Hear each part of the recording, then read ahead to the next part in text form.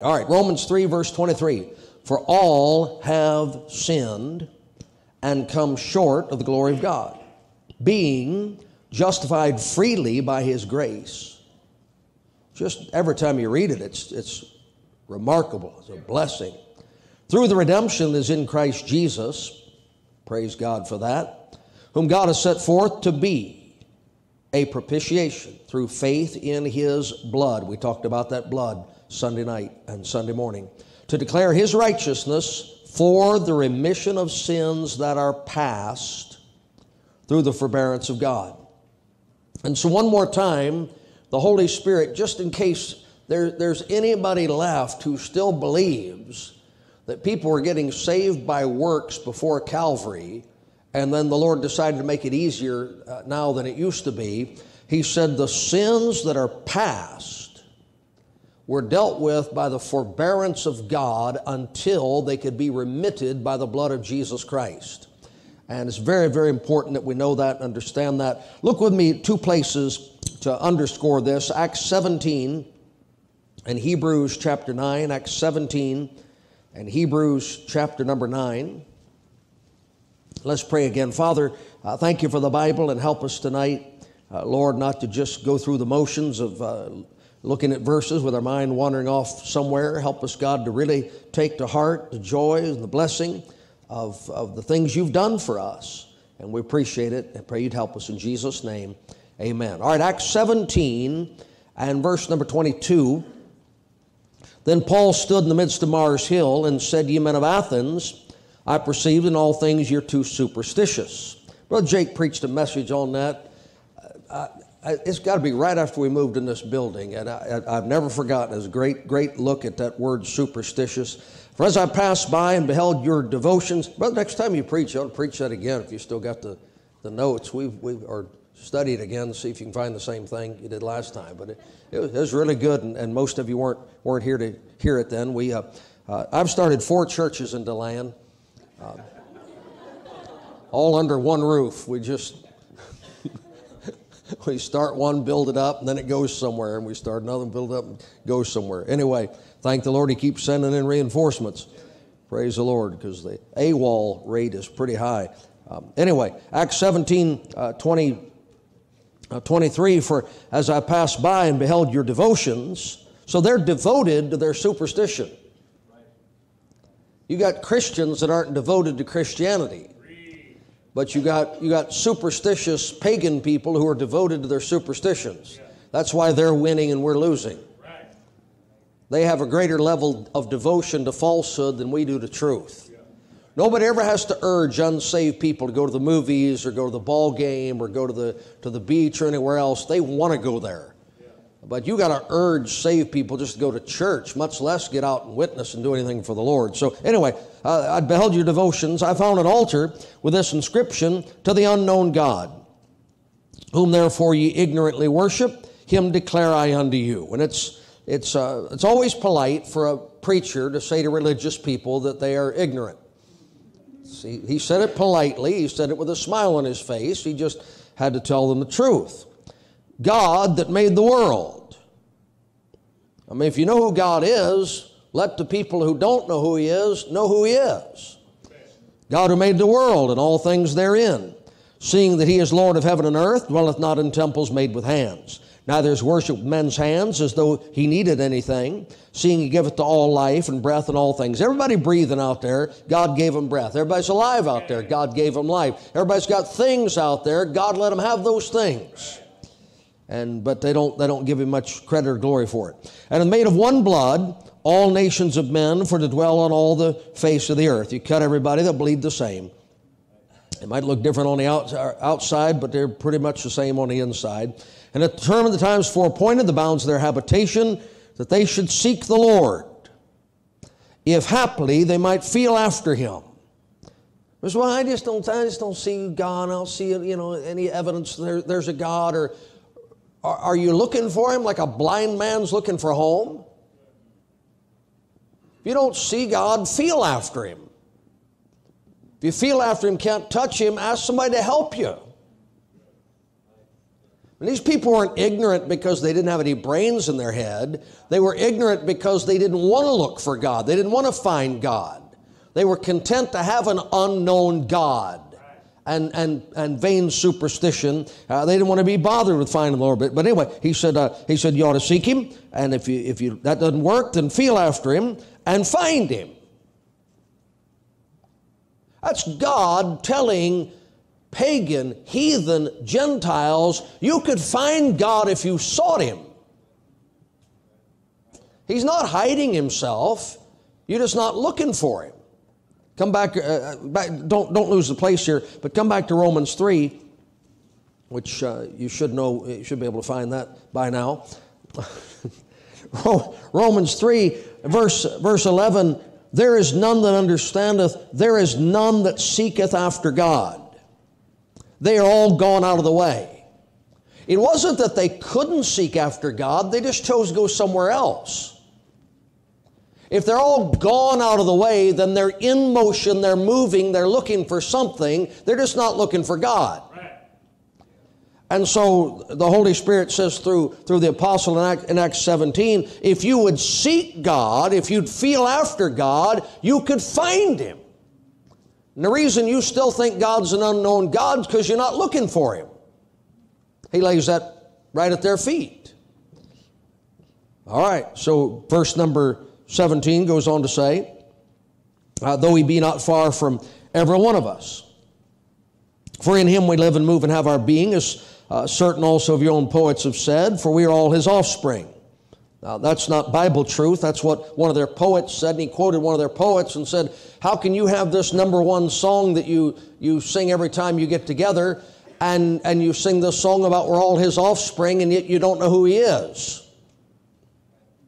How can you say you don't know there's one God when your own famous poet of, of your people and your nation wrote a poem that you all know that said we're all his offspring? That's not a Bible doctrine that everybody's God's offspring. He's, he's preaching to his audience.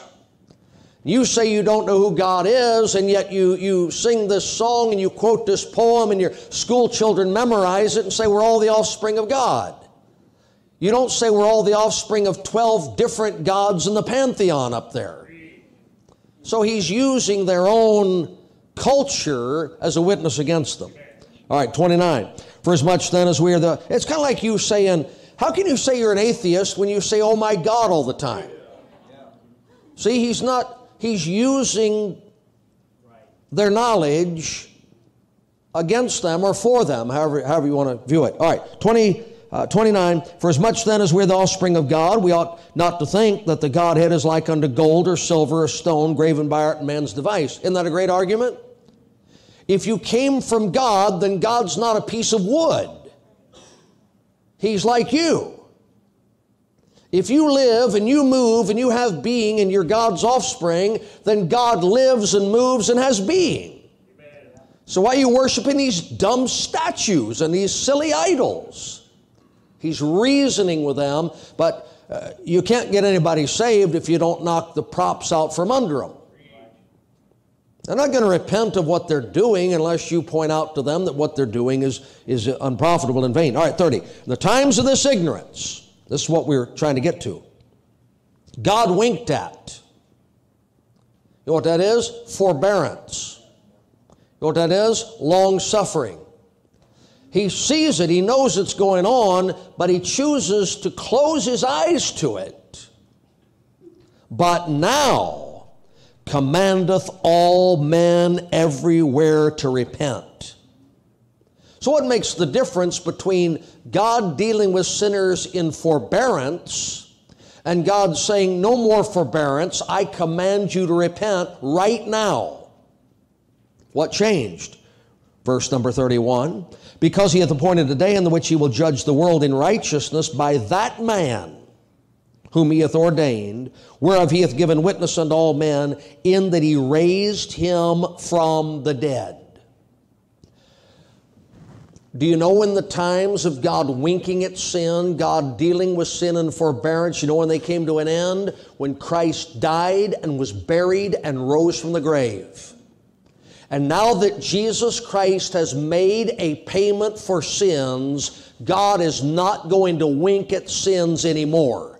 He's not going to wait around and let you play in sin for a hundred years or a thousand years or two thousand years waiting for a way out. There is a way out.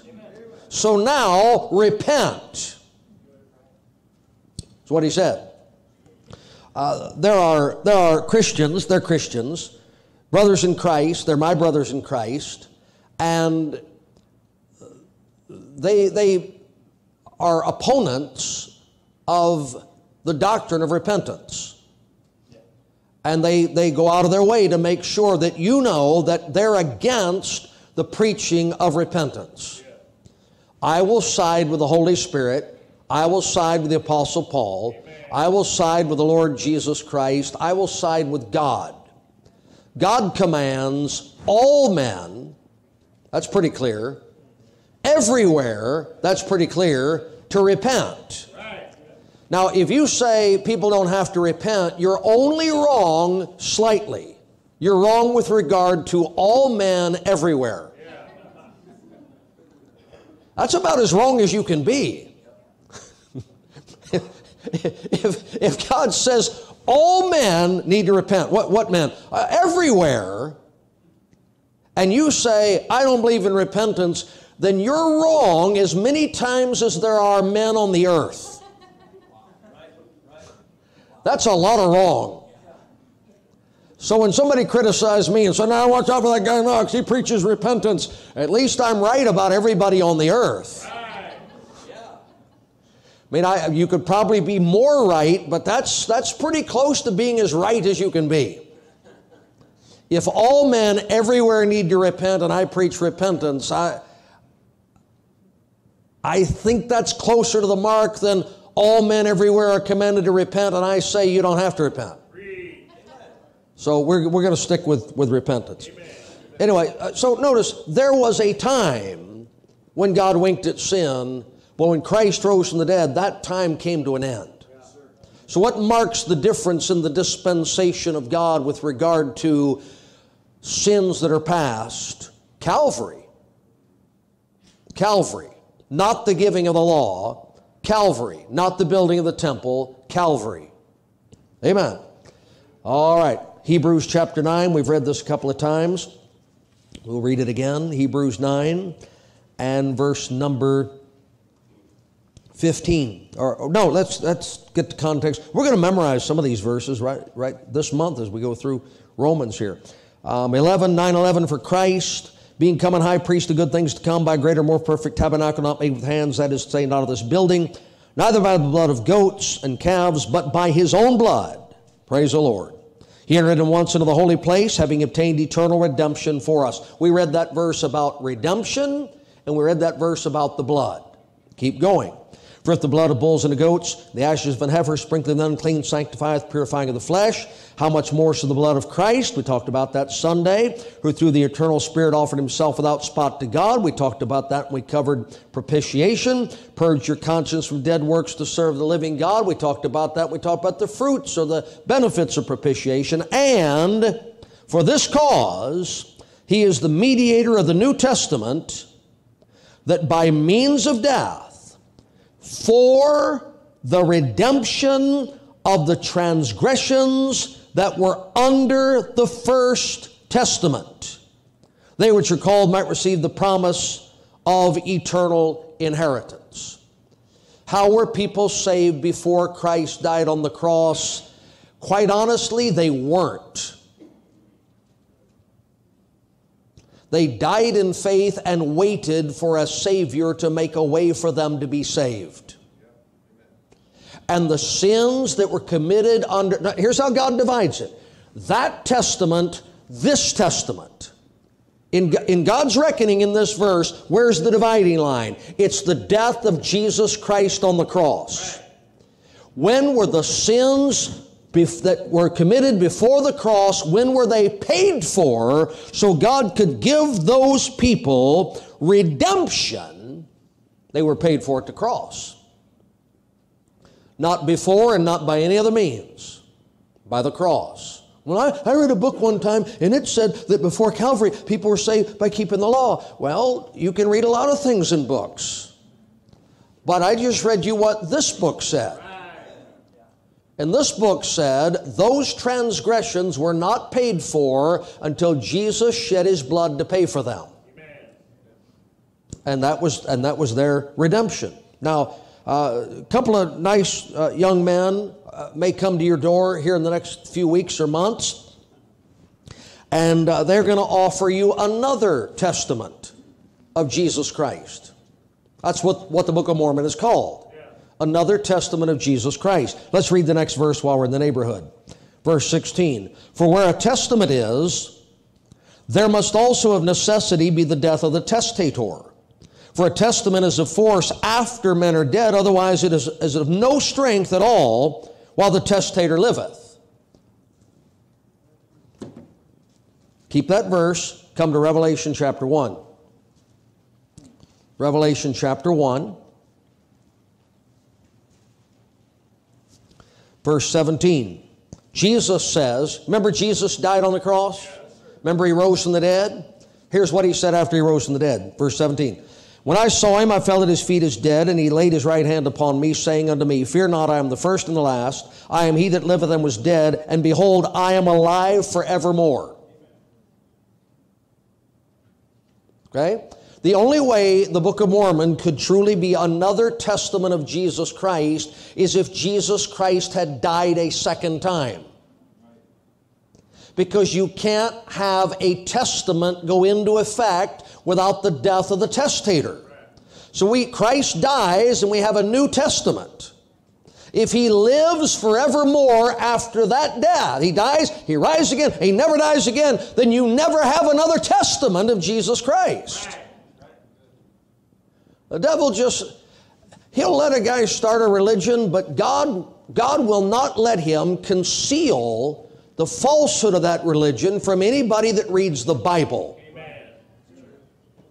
He, he forces the devil to put in plain view what's wrong with what he just made up. And the only way you're going to be deceived is if you love not the truth. Second Thessalonians chapter 2. So come back to Hebrews 9 and, and look what the Bible says about the Book of Mormon. Verse 17 For testament is a force after men are dead. Did Jesus die again? Okay. Then what does the Bible say about the Book of Mormon? It is of no strength at all while the testator liveth. As long as Jesus Christ is alive, the Book of Mormon cannot do anything for one lost soul. How about that? Amen. It's a no effect. You don't have to know everything in it. That's all you have to know right there. If it's a testament, who died?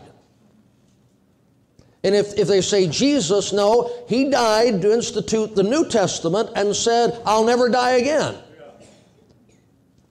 So he had nothing to do with the Book of Mormon. Amen. Other than to tell you that it wasn't about him. All right. Now, let's go back to Romans 3. That, was just a little extra bonus material there for those of you that give.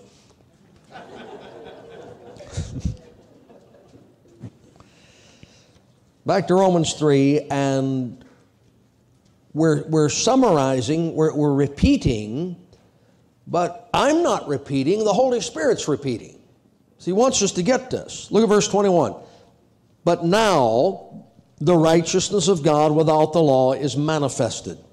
Look at verse 26.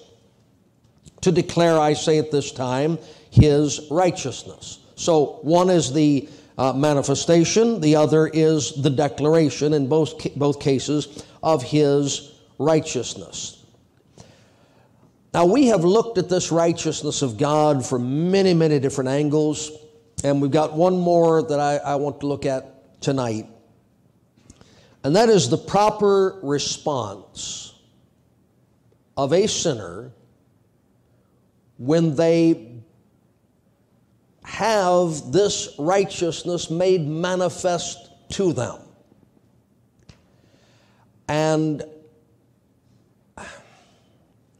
I am satisfied that the reason so few people are getting saved today is, is not just because of their overwhelming pride, but because ministers almost universally are promoting and agreeing to that pride rather than preaching against it.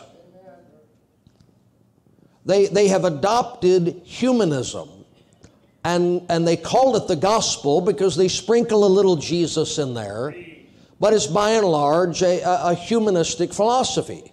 Come as you are, dress any way you want to, do anything you want to do. We won't judge you, we won't criticize you, we won't find fault with you. We love you just like you are, and God loves you just like you are, and, and it's all it's just a great big lie.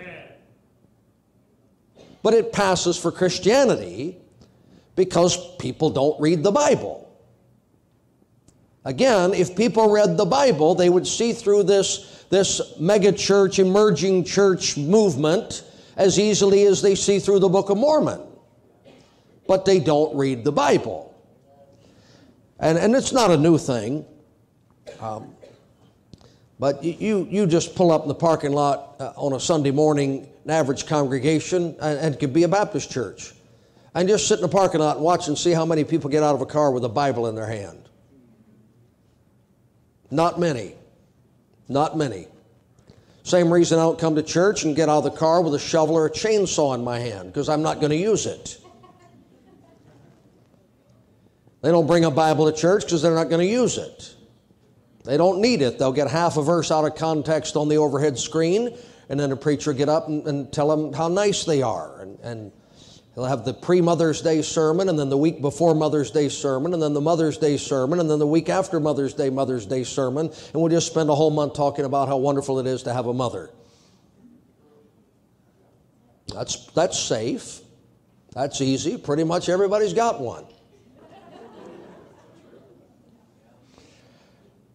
So, I just want to give you a glimpse, just hop, skip, and jump through the Bible and show you what happens when somebody really comes face to face with the righteousness of God. Exodus chapter 3. Exodus, well, no, let, us go back farther. Genesis chapter 3. May as well start the beginning. Genesis chapter 3.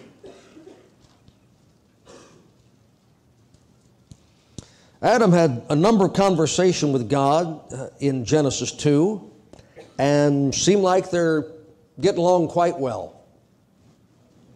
But something happened in Genesis 3 sin entered that man's life. And the Bible says in verse number 8 they heard the voice of the Lord God walking in the garden in the cool of the day. Adam and his wife hid themselves from the presence of the Lord God amongst the trees of the garden. Verse 10, he said, I heard thy voice in the garden. I was afraid because I was naked and I hid myself. Well, he was naked in Genesis 2 and he wasn't afraid. He's unclothed in Genesis 2 and he didn't, didn't run and hide. In fact, he got more clothes on in Genesis 3 than he did in Genesis 2. But the difference is now he's not righteous. And he wants nothing to do with a righteous God. He doesn't want to be seen by a righteous God. He doesn't want to be examined by a righteous God. He doesn't want to have conversation with a righteous God. And I'm telling you, if wicked, ungodly people were going to be confronted with the true God of the Bible, they wouldn't flock to church on a Sunday morning.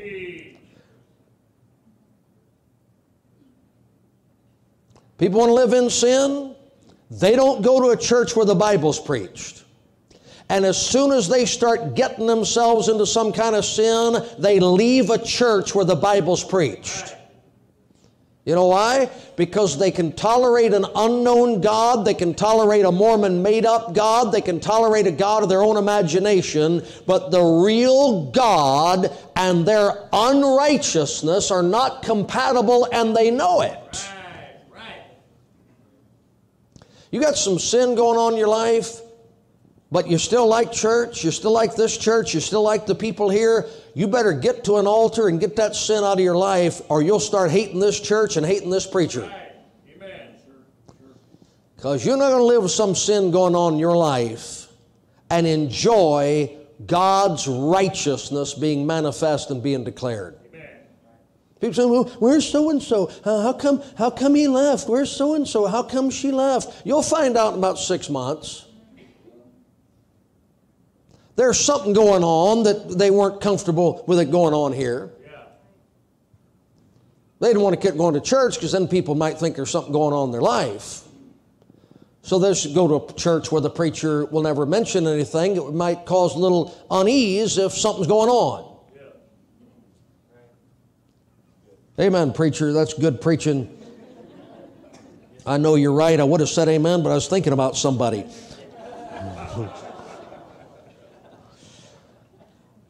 All right. Gen- uh, Exodus chapter 3. Exodus 3.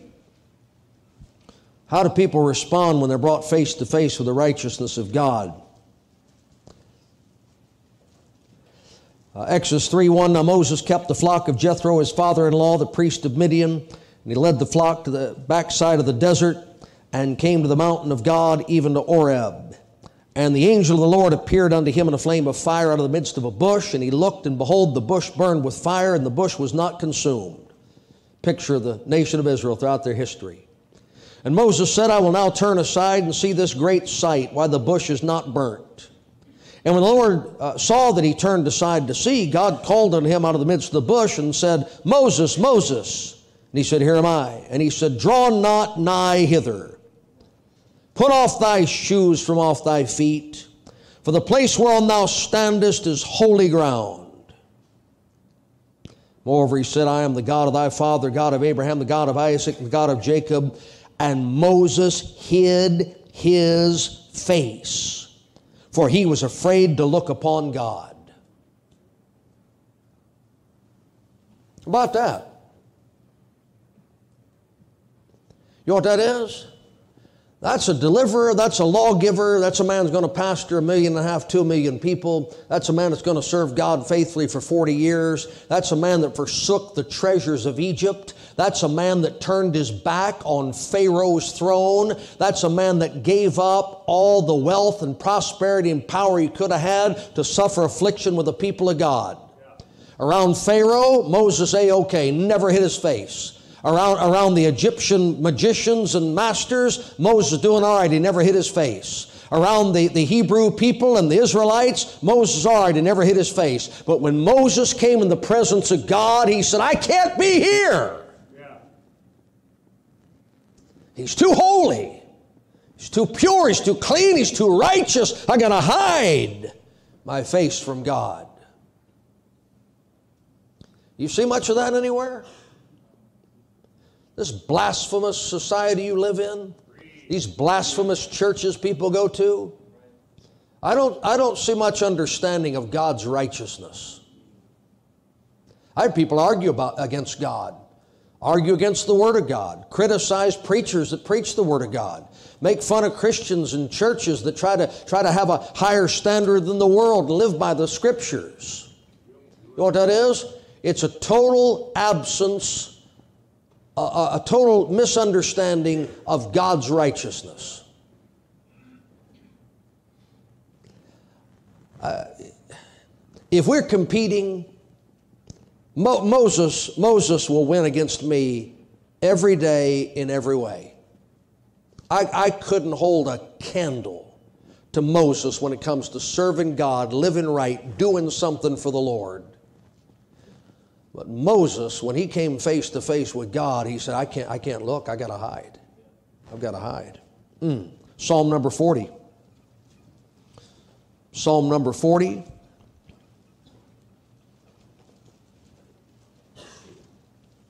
David defeated Goliath. David defeated the Philistines.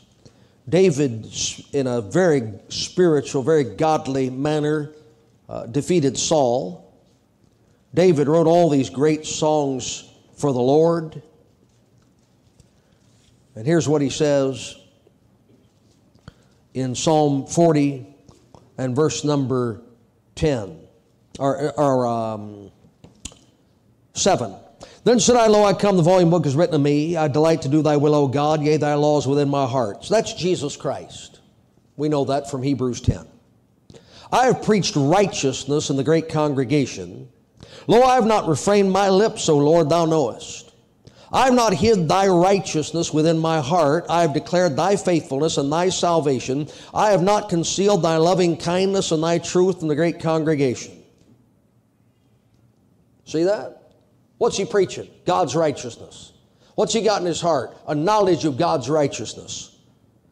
Verse 11 Withhold not thou thy tender mercies from me, O Lord. Let thy loving kindness and thy truth continually preserve me. For innumerable, innumerable evils have compassed me about. Mine iniquities have taken hold upon me, so that I am not able to look up. How about that? They are more than the hairs of mine head, therefore my heart faileth me.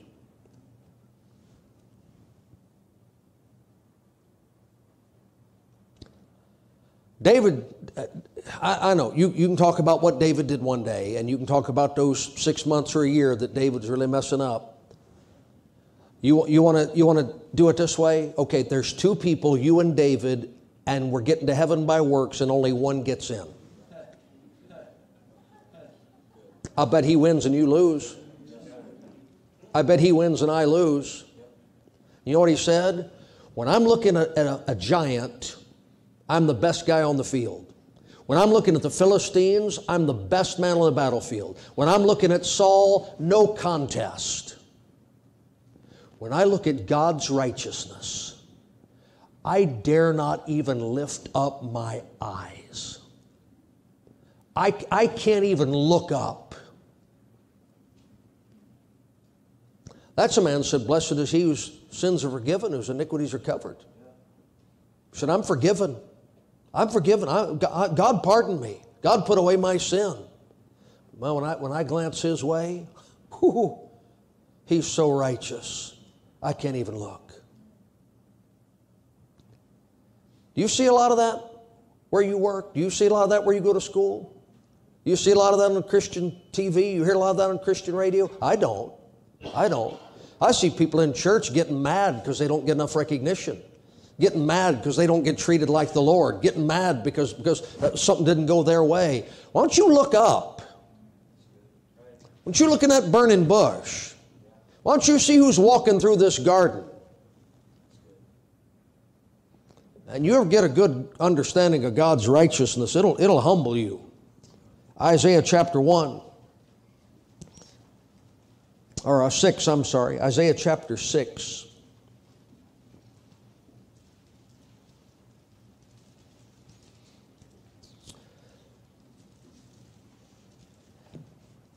I've been preaching 40 some years. Some of you guys have been preaching that long and longer. I wonder which 66 of my sermons God would put in the Bible. Probably none. Probably none. Written a bunch of books. I've never had the Holy Ghost come to me and say, you know what? That, that, that, that book you wrote was so good. I'm going to take Hosea out of the Bible. Nobody reads it anyway, and I'm going to put your book in there. That's not, that's not ha- you know it's not happening. Isaiah wrote 66 books of the Bible under inspiration of the Holy Spirit. Isaiah is the one prophesied about the virgin birth of Christ, about Jesus Christ being the everlasting Father, the mighty God, and the government rest upon his shoulder. Isaiah is the one that wrote that 53rd chapter about the Lamb, all, all these great prophecies. But one time, one time, he got a manifestation the righteousness of God. Isaiah 6, verse 1. In the year that King Uzziah died, I saw the Lord. I saw also the Lord sitting upon a throne high and lifted up, and his train filled the temple. Above it stood the seraphims. Each one had six wings. With twain he covered his face, and with twain he covered his feet, and with twain he did fly.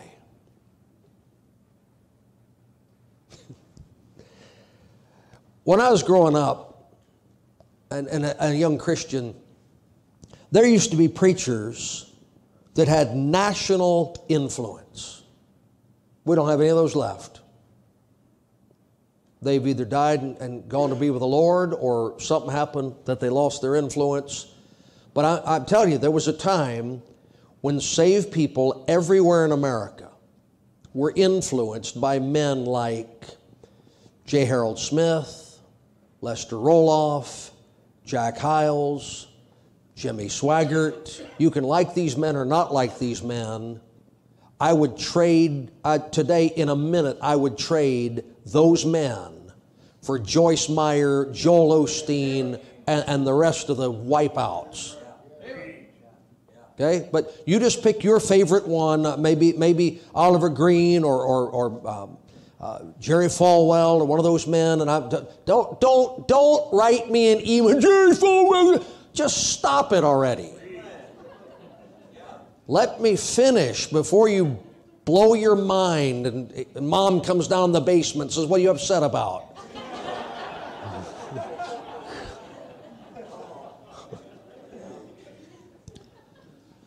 if you if you could have walked in to the office of the greatest soul winner, the greatest pastor, the greatest builder of homes for troubled youth in America, there would not have been seraphim flying around that office. Now, some of those pastors might have been tempted to hire somebody to put on wings and stand around their, their desk, but this is quite a scene. This is the Lord on a throne, and his twain filled the temple. no, train, and then and then these creatures around the throne. And verse number three, one cried unto another and said, Holy, holy, holy is the Lord of hosts. The whole earth is full of his glory.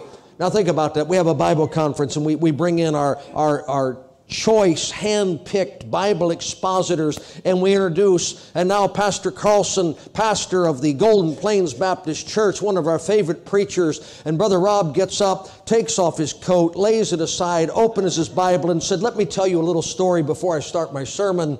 And he tells us one of those jokes. And as Brother Rob begins to preach, these beings come down from heaven and begin to encircle him and say, Holy, holy, holy, Pastor Carlson. Holy, holy, holy, Pastor Carlson. The whole earth is full of his glory. Are you kidding me? These creatures are not surrounding Isaiah. They're surrounding Isaiah's God. Isaiah talked about him and wrote about him and preached about him and honored him and magnified him, but one day Isaiah got a look. I'll tell you this pride in the pulpit this pride in the pastor's convention, and this, this pride among congregations, and this pride among the soloist, and this pride on the part of the song leader, somebody's not looking at God. Somebody needs to get rid of the mirror. Those, you know, those women back in the, in the, when they came out of Egypt, they were so thankful to be redeemed. They turned in their mirrors so they could use their mirrors to build the, uh, the uh, brazen sea outside the tabernacle. Well, that's probably the greatest sacrifice ever been offered. Anyway, too much looking in the mirror and saying, looking at me, and not enough. So, anyway, verse number five. Then said I, Woe is me, for I am undone, because I am a man of unclean lips and I dwell in the midst of a people of unclean lips. What made him say that? For mine eyes have seen the King, the Lord of hosts. That's how people act who understand how righteous God is. And I rarely see anyone acting like that even for a short time.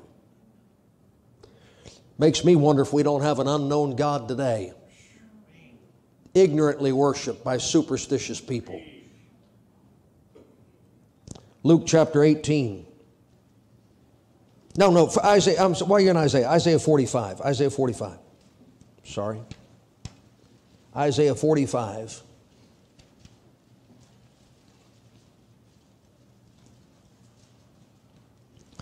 Verse uh, 21. Or 20. Assemble yourselves and come. Draw near together, ye that are escaped of the nations. They have no knowledge that set up the wood of their graven image and pray unto a God that cannot save. You know what the Lord said? They got no brains in their head. They don't know what they're doing. Tell ye, and bring them near. Yea, let them take counsel together. Who had declared this from ancient time? Who had told it from that time? Have not I the Lord? And there is no God beside me, a just God and a Savior. There is none beside me. Look unto me and be ye saved, all the ends of the earth, for I am God and there is none else. I have sworn by myself, the word has gone out of my mouth in righteousness and shall not return, that unto me every knee shall bow and every tongue shall swear. You know what that is? That's Acts 17 preview all men everywhere, you better come and bow before me. You better come and confess I'm the only God. Too much pride. Pride in religion, pride in denomination, pride in form of worship, pride in doctrine, pride in service for God, pride in singing, pride in preaching, pride in soul winning. You get your eyes on the Lord, that pride will disappear in a hurry. Because what have any of us done? Come on, think back. Acts 17, what do you say? In him we live. Well, then you can't take credit for that. And move, then you can't take credit for that. And have our being, you can't take credit for that. Seeing you give all life, can't take credit for that. And breath, can't take credit for that. And all things, anything else you got. You can't take credit for any of it. If you don't believe it, watch how fast he can knock you down. Well, I, I, I can take care of myself. Said everybody that's in the hospital now.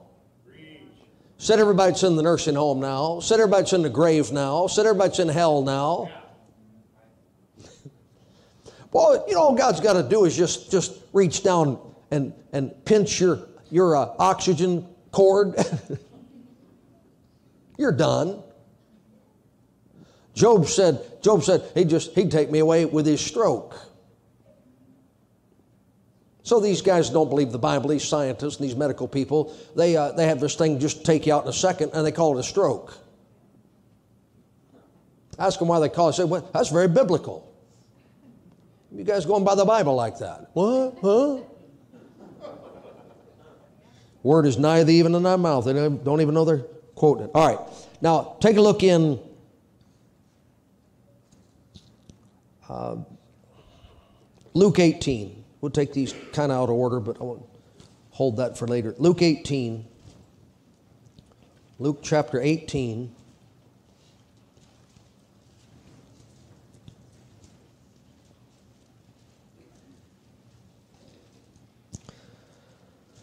Verse 9. And he spake this parable unto certain which trusted in themselves that they were righteous.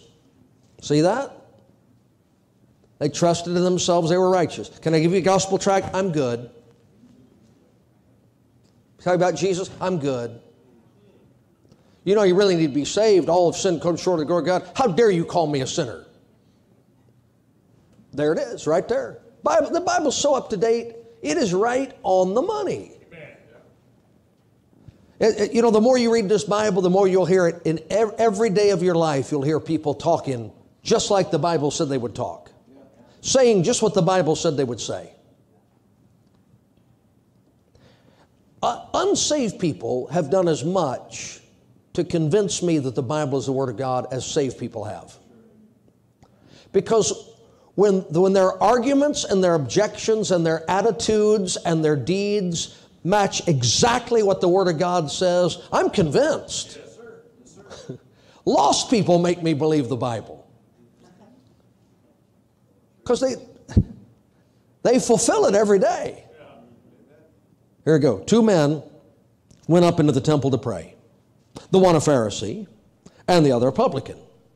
The Pharisee stood and prayed thus with himself God,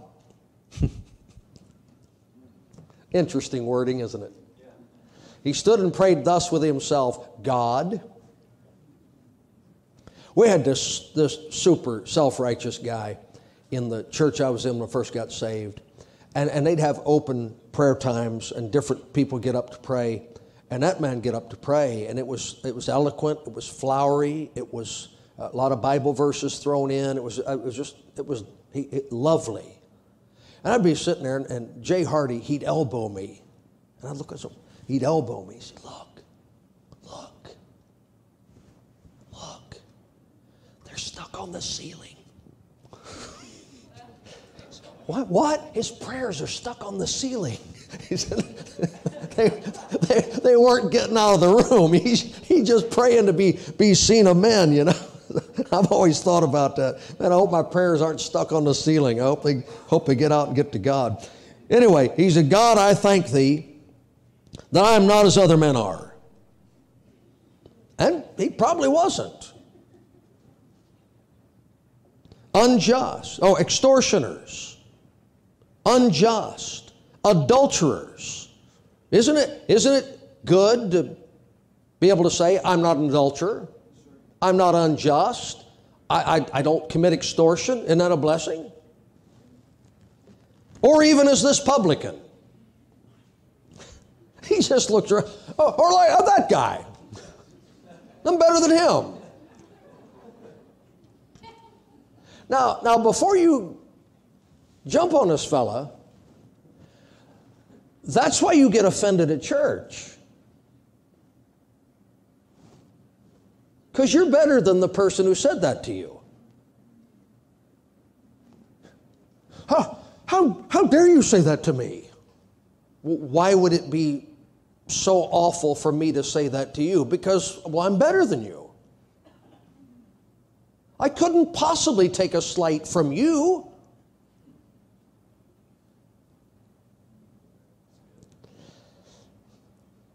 I mean, nobody here tonight, but the people that didn't come tonight, let me, let me say something about them, because no, nobody here tonight would ever do this. You don't walk into a church with a songbook full of songs about God's glory and God's righteousness, and a Bible full of truth about God's glory and God's righteousness, and on a regular basis, do we not walk into the church and look around and say, I thank God I'm not as that man? My family's not like that family. We don't do what they do. I would never wear that. Uh, did, you, did you hear what they watched? You know what that is? It, it's okay for you to do better, but it's not okay for you to think you're better. Because you're, you're comparing horizontally. You're supposed to be comparing vertically.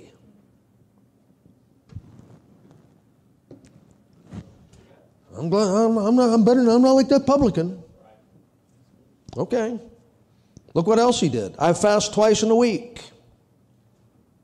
I fast twice a day. Between breakfast and lunch and lunch and supper. A lot of, a lot of fasts. I do, I do a lot of, lot of fasting, short, short duration. I give tithes of all that I possess. I, I dare say most Christians don't fast twice in a week. And I know most Christians don't tithe all they possess.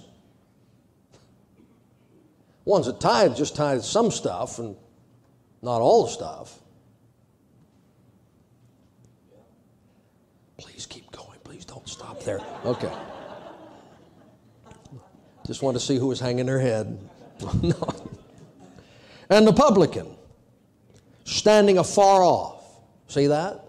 You know what that is? That's Moses at the burning bush. That's Adam in the garden. Would not lift up so much as his eyes unto heaven. You know what that is? That's David in Psalm 40. That's Isaiah in Isaiah 6. But smote upon his breast, symbolic of stabbing yourself in the heart. saying, God, be merciful to me, a sinner. I tell you, this man went down to his house justified rather than the other. For everyone that exalteth himself shall be abased, and he that humbleth himself should be exalted. How about that? You know what the easy way to humble yourself is? Stop looking at yourself and stop looking at others and look at God.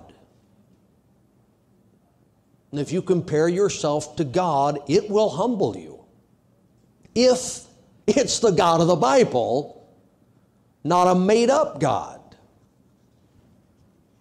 Okay, let's compare. We'll, we'll, close out with this John 19 and Zechariah 12. John 19 and Zechariah 12.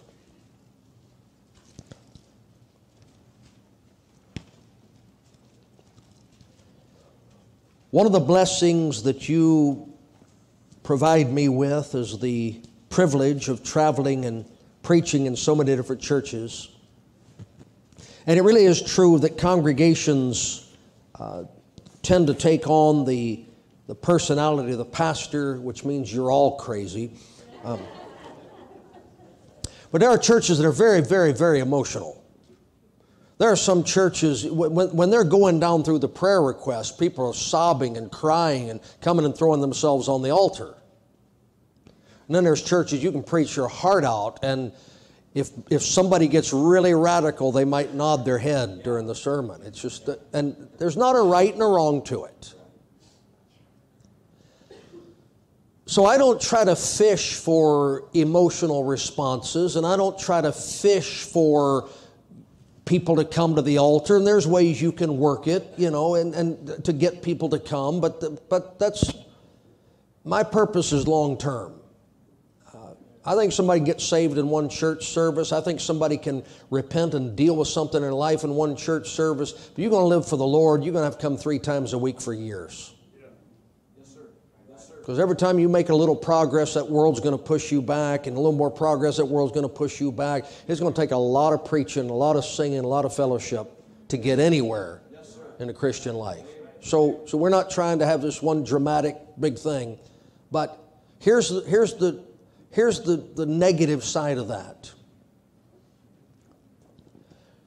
In the last several weeks, we have been through the most, I'm not, I'm not talking about my delivery, I'm talking about the material. We've been through the most incredible truths about the Son of God shedding his blood so God could redeem us and give us everlasting life.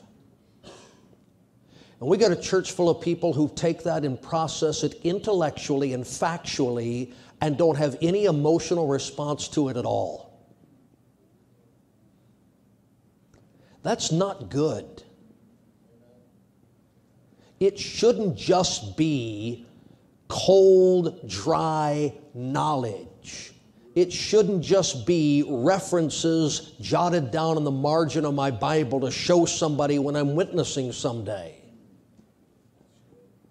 I mean, it ought to have some effect upon our heart and our emotions and our soul when we consider what Christ has done for us. And if we're not careful, we're going to get heady and high minded and, and not enough heart and too much head, and we're going to tip over and fall. Now, let me show you, let me show you a good example of what I'm talking about. Here's the fact of the matter. The fact of the matter. John 19,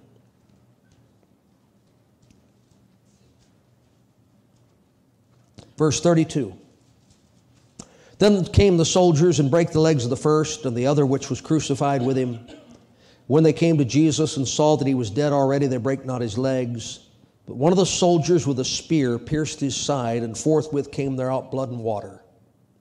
And he that saw it bare record, and his record is true, and he knoweth that he saith true, that ye might believe, for these things were done, that the scripture should be fulfilled, a bone of him should not be broken. And again another scripture saith, They shall look on him whom they pierced. You know what we do with that? We note that the Bible is true, and one of the proofs the Bible is true is fulfilled prophecy, and what was written in the Old Testament came to pass in the New Testament. Look right there, it proves that Jesus is the promised Messiah, and we got all the factual information. Because we study the Bible.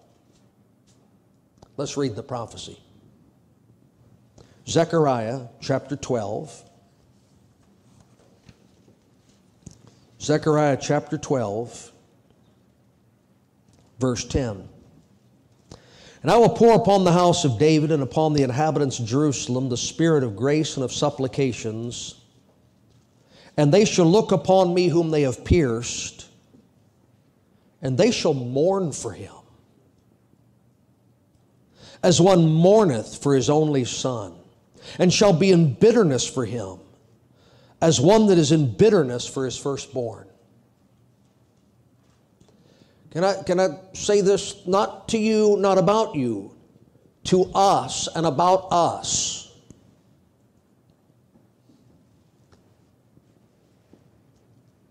We can go through months of preaching and teaching on the crucifixion of Jesus Christ and nothing resembling mourning arise in any of our hearts.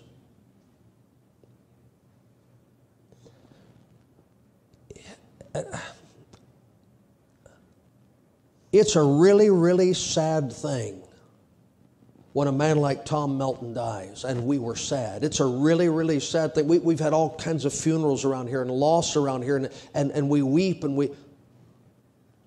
It's a really, really sad thing that God's Son was pierced for our sins.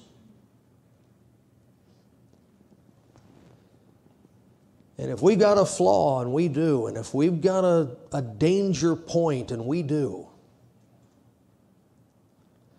it's that this Bible will become 100% intellectual and 0% emotional. And it'll affect our head, but it'll never affect our heart. And you can know all about your wife and walk out on her, or you can love your wife and you'll be true to her till you die. And you can know all about what Jesus did and walk away from him. If you love the Lord thy God with all your heart, soul, strength, and mind, you'll stay true to him to the end. Let's, let's be careful that we're not, oh, that's a good verse. That's a good one. That's a good cross reference. Yeah, that, I hadn't seen that one. Yeah, that Isaiah. Okay, that's all good. But when Adam and the Lord came face to face, there was some emotion there. Moses and the Lord came face to face, there was some emotion there. When David and Isaiah came face to face with the Lord, there's some emotion there. When they looked on him whom they pierced, there was some emotion there. Let's don't become as dead and cold and dry as the idols carved with people's hands. I don't want to be just some sort of mechanical, robotic Christian spouting verses and handing out tracts. And it doesn't touch me down here that Christ suffered like he did. It's humbling. It's humbling. Get that revelation, that declaration of God's righteousness. Okay, so I'm not. We're not going to play a sad song and come up here and t- come on, try to make yourself cry. I, I'm just. I'm just telling you, don't get so anti charismatic and anti contemporary that you're just cold, dead, dry, formal, emotionless creatures. Man, what Jesus did, he said, Boy, if, my, if one of my loved ones died, one of your loved ones did die for your sins. Some, something to think about something to ponder. Amen. All right, Father, thank you for the Bible. Please, Lord, please let us learn the truth and live the truth. Please, God, may we be affected by the truth in some way. Keep our hearts from getting hard and cold and dry, indifferent. Please, Father, we pray. In Jesus' name, Amen. Amen. All right, we got some building news for you on Sunday, so uh, give you something to look forward to besides seeing each other. Amen. You dismissed. Good night.